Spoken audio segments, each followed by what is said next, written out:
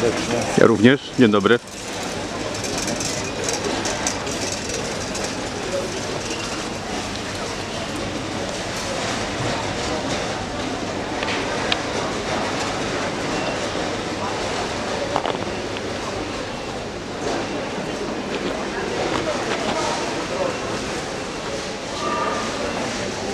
Nie, właśnie to jest jeszcze strach. Nie, znajdziesz mnie, to jest strach.